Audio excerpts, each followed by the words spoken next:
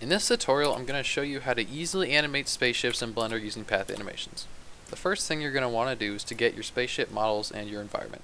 I found these spaceship models on Sketchfab for free, and I'll link them down in the description.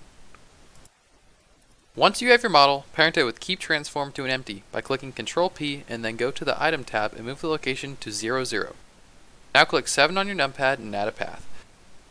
Click Tab to go into edit mode and then select all the vertices with A and delete them. Then click on the little pencil tool on the left and use it to draw the path where you want your spaceship to fly. Now get out of isometric view by looking around and move the vertices up and down so that the path curve isn't so flat. Also do some fine tuning to the curve of the path as well if you need to. Now click on the path and go to your path settings and give it the length of your timeline. Next click on the empty that your spaceship is parented to and go to the Objects Constraint tab. Add a follow path constraint and then select the path we made and click animate path. Now you may notice that the spaceship isn't orientated properly, so orientate the spaceship and then click I to add a location rotation keyframe, and then keep doing that to the rest of the animation.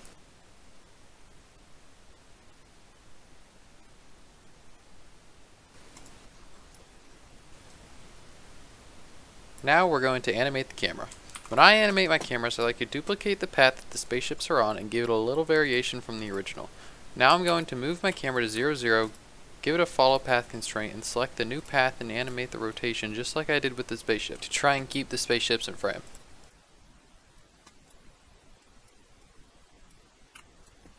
And then click on the camera again and give it an offset so that it stays behind the spaceship. Now that we have our animations done, it's time to add some random variations so that everything doesn't look so uniform. First of all, head to the Animation tab at the top and switch from the Dope Sheet to the Graph Editor.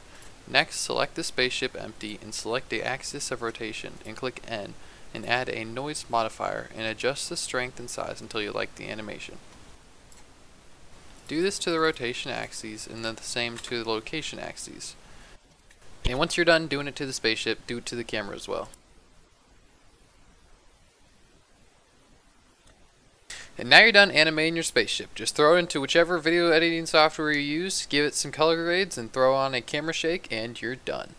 Uh, if you found this video helpful or you enjoyed it, please consider subscribing and liking, and thank you for watching.